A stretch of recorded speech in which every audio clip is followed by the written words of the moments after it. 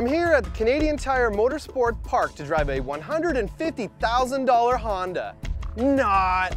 This Italian-made track car is made entirely of carbon fiber. It's powered by a 250 horsepower Honda K20 engine. The whole car weighs just 500 kilograms, so talk about power to weight.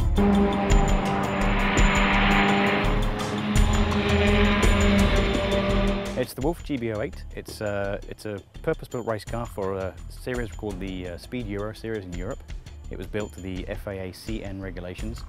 Um, it has a 2-litre K20 Honda engine in it, Mugen version of the K20, so it's not exactly stock, but all, all the internals, all the, the parts that you would need to change in a rebuild are stock Honda parts. It's mated to a SADEV six-speed sequential gearbox, which is available with or without a paddle shift. The chassis itself is uh, produced by the same people that make the Pagani Zonda, the same supplier in Italy. Speaking of championships, Wolf Racing has won several in the Italian Prototypes Championship, Speed Euro Series, and V de V Proto Endurance Series since the GB08 made its debut in 2010 with the Avelon Formula team.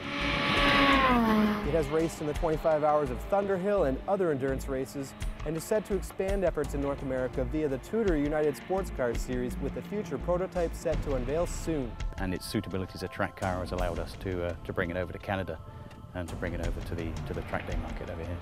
This car, we've gotten it out of the box and it's, it's, been, it's been great. It's definitely the best car that I've personally ever driven.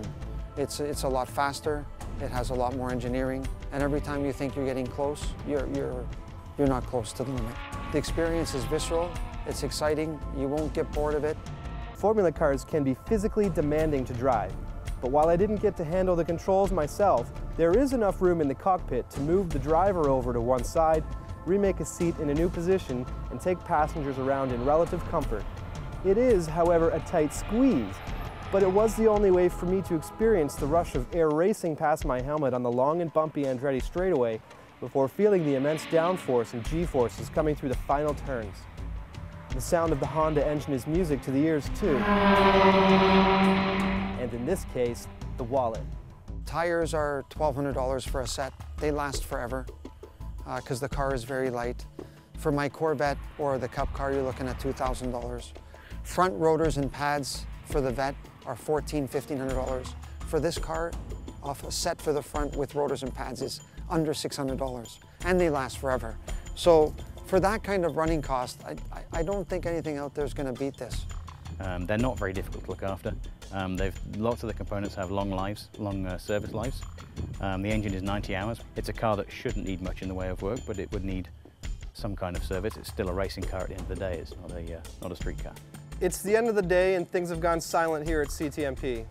All the other cars and drivers have left to go home and the GB08 is getting packed onto a trailer to do the same. And I want to give a special thank you to Six Gear for putting on such an amazing track day. For PRN Ignition, I'm Shaun Keenan.